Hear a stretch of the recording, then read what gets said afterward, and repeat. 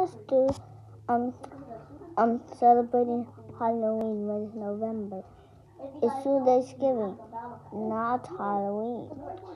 Halloween like um like was like two days ago or one day ago. You gonna stop celebrating it. It's November, not October. October finished. It's November.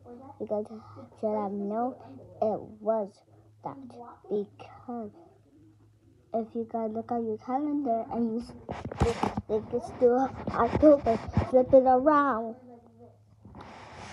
Thank you because my grandma knows that November, not October. Stop. Stop celebrating Halloween.